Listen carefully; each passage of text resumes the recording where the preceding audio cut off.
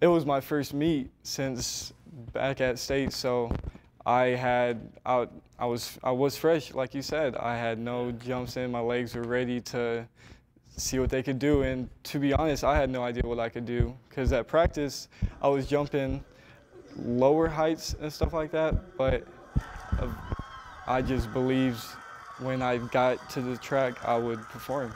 The biggest thing I've noticed about Shane is he's a competitor. Um, when it's time to compete, he's ready to go. Uh, he's not a practice champ. I don't need practice champs. Uh, when that when those lights go off and, and, he has to go out there and put on that show, we always say he's going to go do it. And we saw the same thing at the state meet.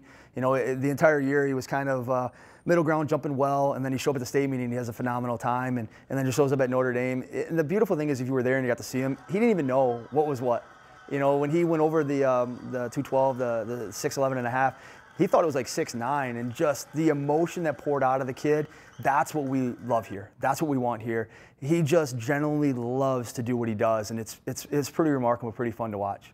It felt perfect to me. It felt like everything was going to work out on my approach, and when I jumped, I just knew I had it. Part of it is just keeping grounded. Part of it is is is keeping them on the course of what the plan is. You know, like everybody's gonna have a PR, but let's get your let's get your average five as high as possible. Let's make it so you're so consistent that when we show up at nationals, you can jump that consistently.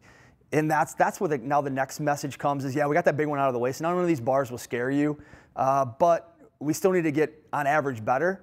And that's our next thing is on average, can we clear those bars consistently? And as long as you, I think if you, if you put the kids in the right position, they understand that, then it is easy. Um, but obviously, seven foot, seven one, seven two, we're going to stare at him. We want to take shots at him, and it, for him to do what he did is pretty remarkable.